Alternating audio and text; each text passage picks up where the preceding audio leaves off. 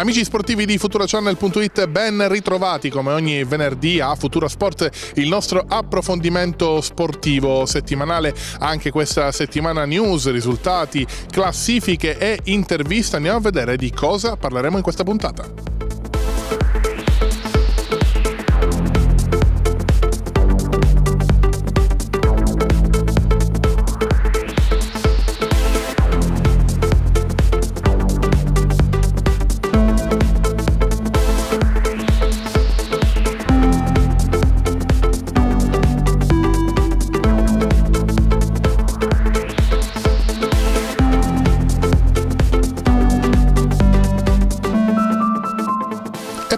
Sempre dal calcio, il Bagheria Città delle Ville, il campionato di promozione che resterà fermo almeno eh, fino all'8 di aprile. Il Bagheria riprenderà eh, contro la Pro Tonnarella, squadra in piena lotta per la salvezza che occupa il quartultimo posto, mentre i bagheresi eh, viaggiano a quota 44 punti al quarto posto in graduatoria. Abbiamo sentito mister Mineo che ci ha fatto il punto non solo sul campionato ma anche sul settore giovanile. Ascoltate. Parliamo dei giovani, la squadra appunto è una squadra abbastanza giovane, si può trovare qualche cosa anche nella squadra juniores allenata da Sparacino e che si è salvata abbastanza bene quest'anno? Negli allievi di Sparacino si, si, può trovare, il lavoro che facciamo con Sparacino e Lopipero che allena juniores è ottimo, è un lavoro di, mm, molto unito, con Girolamo ci sono unità di intenti perché abbiamo una, una, visione del calcio molto simile dal punto di vista proprio di aggregazione di gruppo, di volontà e di spirito di sacrificio per, e, e di amore per la maglia quando si fanno le cose. E quindi sicuramente sì, l'idea è quella di crescere, noi abbiamo, e questa è una cosa che mi, mi pregio, un convocato nella rappresentativa regionale che è Emanuele Gagliano, che è un 99 che da due anni gioca titolare sempre in prima squadra, credo che sia eh, l'unico della promozione convocato nella rappresentativa regionale siciliana, quindi do, questo per noi deve essere un orgoglio, ma è un punto di partenza, non un punto di arrivo, dobbiamo portarne altri e dobbiamo lavorare con i giovani. Il futuro per una società che vuole crescere è quello di lavorare appunto con i giovani.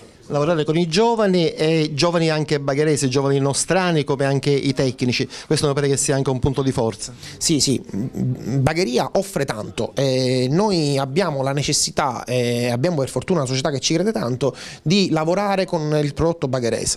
Ci sono tre scuole calcio, compresa quella del Bagheria, più i settori giovanili della Fortitudo, della Virtus, del Bagheria stesso, quindi secondo me il Bagheria deve diventare un punto di riferimento per tutti quei giovani che fanno calcio eh, a Bagheria eh, eh, e non deve essere un declassamento, anzi giocare nel Bagheria deve essere un onore per un bagherese. Io quando quelle poche volte ho vestito, quei due anni ho vestito, tre anni ho vestito la maglia del Bagheria, ero orgoglioso di vestire quella maglia credo che anche oggi deve essere così.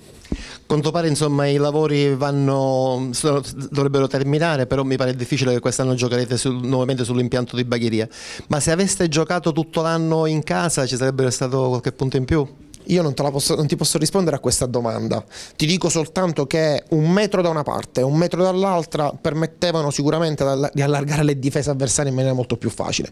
E questa è una, cosa, è una considerazione che faccio spesso eh, con gli altri tecnici, soprattutto con, con, con il mio amico Girolamo Sparacino però devo essere sincero, credo che il campionato che noi abbiamo fatto quest'anno è un campionato di alto livello e che non, non ci, se avessimo giocato qui probabilmente avremmo avuto qualche, qualche, risultato positivo in casa maggiore, però stiamo parlando di pochi punti. Io sono convinto che abbiamo fatto il massimo quest'anno e che stiamo gettando le basi per, un, per, un, per, il prossimo anno che sarà sicuramente una squadra, dobbiamo fare sicuramente una squadra di vertice, almeno se, se sono confermato io.